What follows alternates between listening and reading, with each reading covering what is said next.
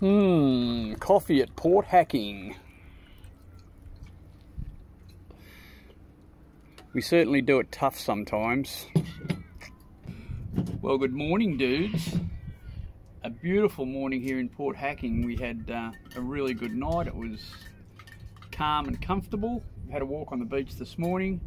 Coffee time now, and we're just working out whether we're going to head off a bit later on this morning or tomorrow.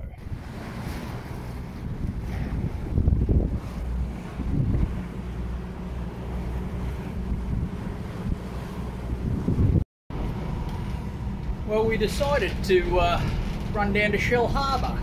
New marina there, we haven't checked that out. So uh, we're going to go down and spend a night in the marina and get some fuel and uh, see what happens for tomorrow.